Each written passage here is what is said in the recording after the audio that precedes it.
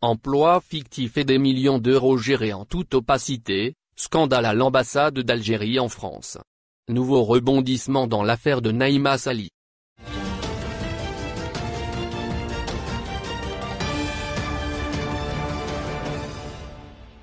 Emploi fictif et des millions d'euros gérés en toute opacité, scandale à l'ambassade d'Algérie en France. L'Algérie est étouffée sur tous les fronts par une profonde et inquiétante crise financière. Mais ces devises continuent à servir au financement des emplois fictifs et des activités d'organismes totalement inutiles. Et c'est justement le scandale que veut étouffer en ce moment l'ambassade d'Algérie en France. Ce scandale concerne l'ELCO, un dispositif quasiment méconnu par les Algériens, mais qui coûte à leur État chaque année l'équivalent de 3 millions d'euros. L'ELCO est l'abréviation de l'enseignement de langue et de culture d'origine. C'est un service culturel géré par l'ambassade d'Algérie en France et financé par les devises de l'État algérien, dans l'objectif de diffuser la langue arabe, la culture algérienne et le patrimoine algérien en France au profit notamment de la diaspora algérienne établie dans les plus importantes agglomérations françaises. Cet organisme géré par l'ambassade d'Algérie en France compte tout un personnel administratif qui est payé actuellement à ne rien faire. Il faut savoir que l'État algérien avait débloqué, pour l'année 2020, un budget représentant la somme de 2 821 960 euros. En 2019, ce budget était de l'ordre de 2 985 074 euros. Situé au Centre culturel algérien, se trouvant au 171 rue de la Croix-Niver à Paris, l'ELCO ne dépend pas du ministère de la Culture, car sa tutelle est le ministère de l'Éducation nationale, et c'est l'ambassade d'Algérie à Paris qui verse les salaires du personnel administratif de l'ELCO. Un personnel réparti à Paris et au niveau des départements limitrophes, ainsi que sur les autres régions de France. Cependant, depuis octobre 2020, le dispositif ELCO a été supprimé sur le sol de la République française à la suite d'une décision prise par le gouvernement français qui a voulu reprendre le contrôle sur l'enseignement de la langue arabe et de l'islam sur le sol français. Les autorités françaises ont décidé de remplacer ce dispositif culturel par un nouveau dispositif appelé EIL, Enseignements internationaux de langues étrangères, et dont l'Algérie n'a pas adhéré jusqu'à l'heure actuelle. Il faut savoir que l'ELCO a été mise en place pour la première fois en 1973 sur le sol français à la demande du Portugal.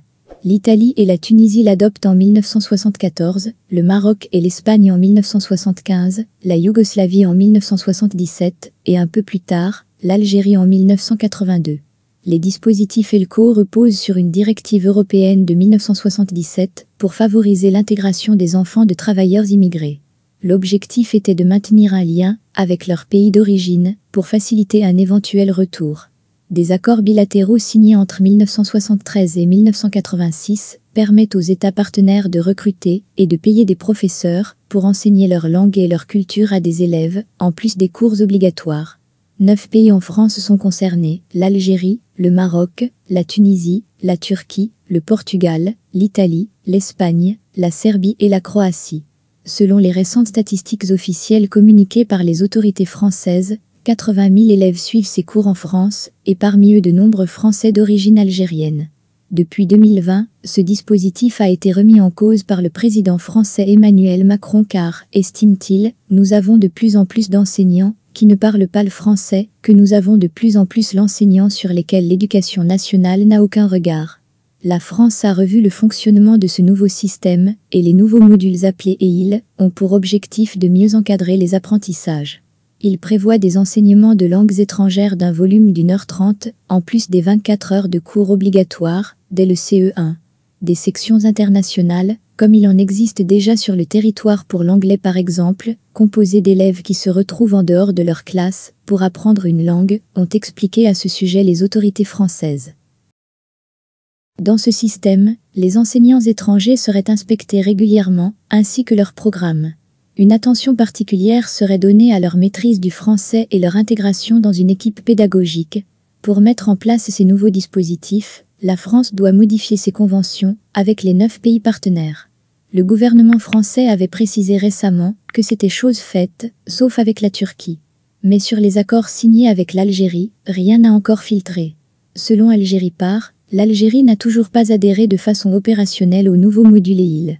Il faut savoir, par ailleurs, que le dispositif de l'ELCO ne peut pas exister et fonctionner sans la présence des enseignants, arabes et berbères. Sans la présence des enseignants, l'ELCO n'a pas lieu d'exister. Or, depuis cette année scolaire 2020-2021, il n'y a pas eu de recrutement d'enseignants en raison de la suppression de l'ELCO et du non-adhésion de l'Algérie au nouveau dispositif EIL. Par conséquent, la présence à l'heure actuelle du personnel administratif de l'ELCO siège et des régions de France est inutile, car ce personnel perçoit des salaires faramineux et ne fournit aucun travail en contrepartie. Il est beaucoup plus occupé à faire des affaires et des déplacements réguliers entre la France et l'Algérie. À titre d'exemple, un simple chauffeur au siège de l'ELCO à Paris perçoit un salaire de 2200 euros, utilisant le véhicule de service et les bons d'essence à des besoins personnels, avec la complicité de certains décideurs du siège de l'ex-ELCO. Une grande majorité de ce personnel a investi dans l'immobilier en France et en Espagne, grâce à l'argent mal acquis.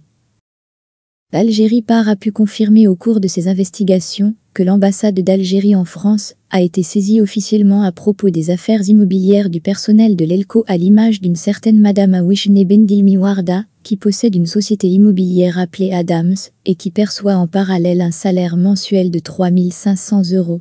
Selon des sources contactées par Algérie Par, cette dame avait été parachutée à l'époque par l'ex-directeur général du budget au ministère des Finances, Beka Farid. Des sources soupçonnent cet employé de l'ELCO de gérer pour le compte de certains hauts responsables algériens un patrimoine immobilier constitué de sept appartements.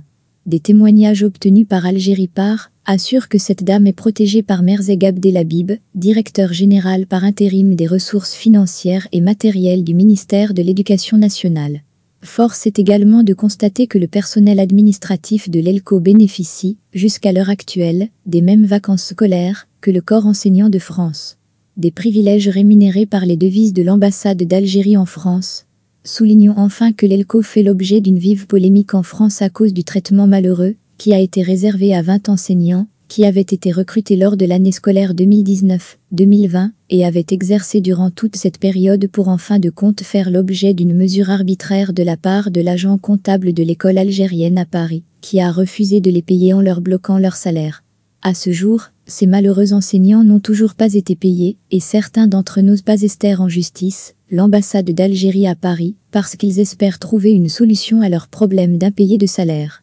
L'ELCO est devenu un dispositif qui permet à des dirigeants algériens d'offrir un séjour doré en France financé par l'argent public de l'État algérien.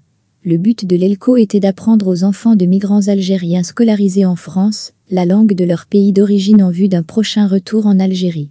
Malheureusement, ce dispositif a été totalement dévoyé de sa vocation initiale et il ne sert aujourd'hui aucunement l'intérêt général de la communauté algérienne en France. Qu'attend l'ambassade d'Algérie en France pour arrêter cette effusion de précieux devises? Nouveau rebondissement dans l'affaire de Naïma Sali. Le tribunal de Cheraga, Alger, relance l'instruction de la plainte déposée contre l'ancienne députée Naïma Sali, après plusieurs mois de blocage.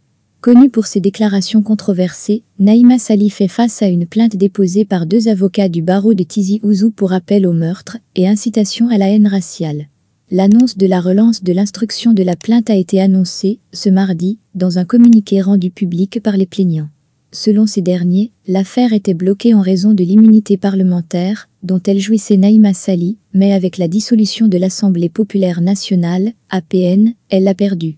Le procureur de la République, du tribunal de Cheraga, nous a rassuré sur le bon déroulement de l'instruction de la plainte déposée contre Naïma Sali, après que nous ayons posé des questions sur la lenteur qu'a pris cette plainte, ont précisé les plaignants dans le communiqué le Parlement est dissous et que la mise en cause ne jouit plus de l'immunité qui pourrait empêcher notre plainte d'aboutir à un procès, ont-ils rappelé. Lors d'une conférence de presse organisée en janvier dernier au siège national du mouvement démocratique et social à Alger, l'avocate et militante des droits de l'homme maître Bekti Awisha avait dénoncé les dépassements de Naïma Sali. La seule présence de la présidente du PEP, Naïma Sali, constitue une menace pour l'Algérie, avait dénoncé maître Bekti Awisha. Abonnez-vous à notre chaîne. Cliquez sur la cloche pour rester au courant de l'actualité algérienne.